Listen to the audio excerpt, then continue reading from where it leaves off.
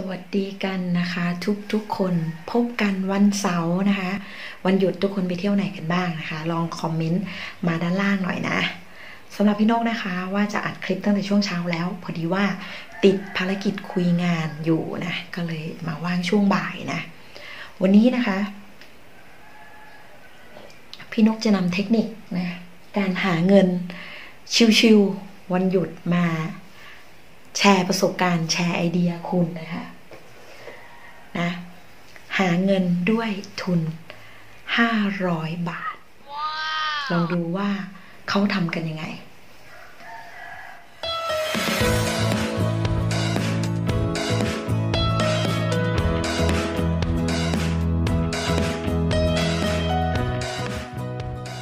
โอเคค่ะทุกคน เริ่มธุรกิจ 500 บาท หาเงิน ชิวๆวันหยุดนะ ถ้าคุณมีห้าร้อยบาทนะ ตั้งใจฟังนะ พี่นกนำเสนอ นี่ ซื้อมาขายไป มือถือมือสองนะคะ คุณลองวันหยุดนะ่ะถ้าคุณว่างนะคะ คุณลองนำไอเดียนี้ไปพิจารณาดูนะตอนนี้พี่นก F มา F มาจากพี่ที่รู้จักนะคะ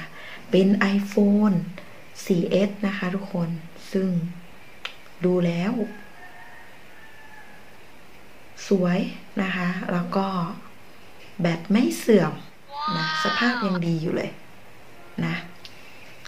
ต้นทุน 500 บาทนะคะสำหรับตัวนี้นะ เสร็จแล้วเนี่ย เรานะคะ ก็มาตั้งขายที่ 890 บาทนะคะ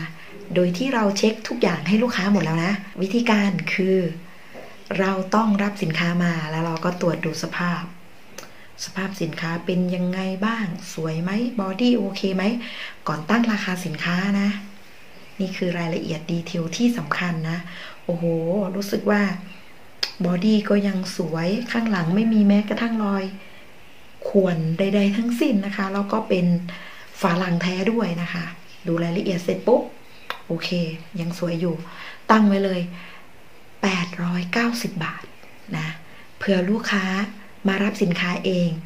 นะหรือหรือเผื่อลูกค้าต่อรอง เราก็สามารถลดให้เขาได้ ขายอยู่ที่ 800 บาทก็ยังได้นะ ต้นทุน 500 นะคะ ขาย 800 บาทนะคะ เท่ากับว่าคุณได้กำไร 300 บาทเลยทีเดียวเชี่ยวนะคะ นี่นะ ถ้าคุณมีงบ 500 บาทนะคะสำหรับวันหยุดไม่รู้ว่าจะไปทำอะไรที่ไหนดีนะคะ คุณลองโพสต์สินค้าขายดูนะคะ แล้วก็ลองซื้อมาขายไปนะคะ ที่เป็นมือถือมือสองนี่แหละนะคะ ไม่ว่าจะเป็นยี่ห้ออื่นๆที่คุณ คุ้นชินหรือที่คุณเคยใช้มาก่อนนะ ไม่ว่าจะเป็น Samsung Oppo นะคะ vivo หรือ iPhone นะคะ ส่วนพี่นกเป็นสาวก iPhone อยู่แล้วนะคะทุกคนก็เลยนำเสนออันนี้เลยแล้วพี่นกก็จะตอบคำถามลูกค้าได้ถูกต้องแม่นยำแล้วก็ชำนาญการนะ มั่นใจในการตอบ เพราะว่าพี่นกใช้อยู่ตั้งแต่ iPhone 4 ถึง iPhone ปัจจุบันนะคะ ปัจจุบันพี่นกใช้ 6s นะคะก็อยากจะ up level ขึ้นไปอยู่นะคะ แต่ว่าเครื่องเดิมนะคะยังไม่คือมันยังไม่เสียนะคะ ทุกคนแบตก็ยังดีนู่นนี่นั่นก็ยังใช้ได้หมดนะคะ ใช้สำหรับการหาเงินออนไลน์กับการอัดคลิปนะคะ ทุกคนตัดต่อคลิปนะ ก็ยังใช้ได้อยู่นะสำหรับเครื่องนี้นะพี่นกก็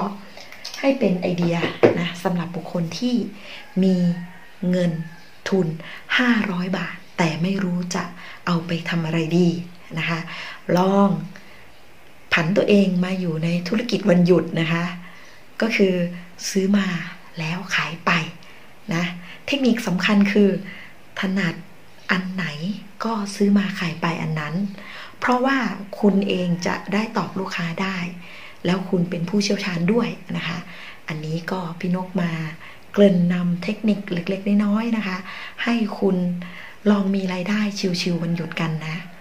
ะในการขายนะคะ ในการขายคือพี่นกก็เช้ามานะพี่นกก็ถ่ายรูปเลย ถ่ายรูปเตรียมไว้นะคะ นี่ ถ่ายรูปเตรียมไว้นะคะ ทุกคน นี่พี่นกก็ถ่ายรูปไว้นะคะ ถ่ายรูปเตรียมไว้เลยนะคะ พี่นกก็ถ่ายรูปไว้นะเผื่อที่ว่าจะมีลูกค้านะคะ มาซื้อ เขาอาจจะดูรายละเอียดของภาพเรานะคะนี่พี่นกก็ถ่ายรูปไว้แล้วก็ลงรายละเอียดไว้ตั้งแต่เช้าแล้ว แล้วก็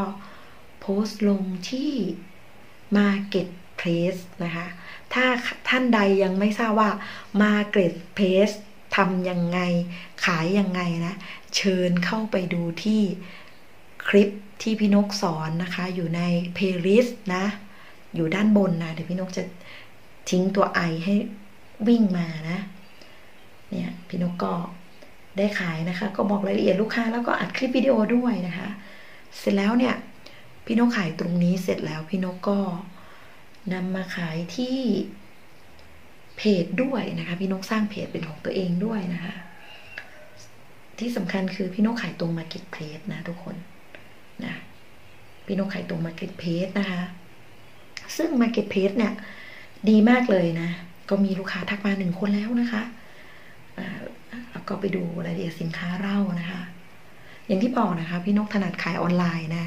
แล้วก็ไม่ได้เสียเวลาอะไรมากมายในการโพสสินค้าลงขายนะ นี่เลยนี่พี่นกก็ขายที่ Marketplace นะคะ แล้วก็ ดูรายละเอียดสินค้านะ นี่พี่นกก็โพสต์ไว้นะโพสต์ไว้แล้วก็ชี้แจงรายละเอียดไว้นะคะ มีคนมาเห็นเจ็ดคนแล้วนะทุกคนอ่าเราก็รอแล้วก็มีหนึ่งท่านที่ทักมานะ ขอต่อราคานะคะ พี่นกก็ลงรายละเอียดราคาให้แล้วนะ รอลุ้นนะว่า iPhone 4S จะตกเป็นของใครแล้วพี่นกจะได้กำไรเท่าไหร่นะ ถ้าพี่นกได้กำไรนะ พี่นกก็จะมาแชร์ประสบการณ์ เพิ่มอีกว่าการขายออนไลน์เนี่ย มันโคตรง่ายเลยแล้วก็แบบตอบโจทย์เราด้วยนะ อย่างเช่นวันนี้เราไม่อยากออกไปไหน เราอยากจะซักผ้าถูบ้าน